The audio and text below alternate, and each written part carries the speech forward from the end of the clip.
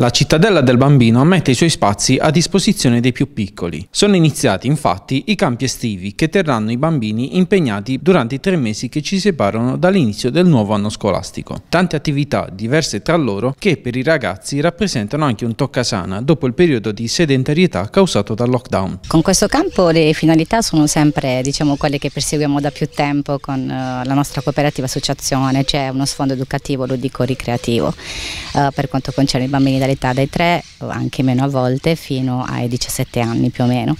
Uh, ogni settimana c'è un programma che i ragazzi seguono, siamo in collaborazione con il Bella Vista quest'anno, uh, proprio perché dopo il periodo Covid i bambini non hanno avuto la possibilità di poter fare attività sportiva.